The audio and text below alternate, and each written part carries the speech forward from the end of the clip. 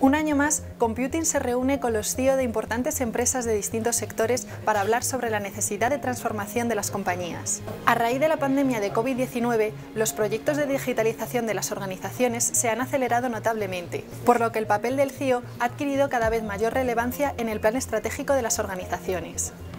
Aunque han echado en falta cierta flexibilidad por parte de algunos proveedores de TI durante los meses más duros, como los del confinamiento, en los que el negocio estuvo más parado.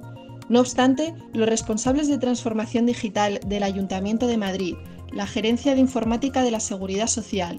Gestamp, Heineken, Iberdrola, Merlin Properties, Pelayo Seguros y Securitas Group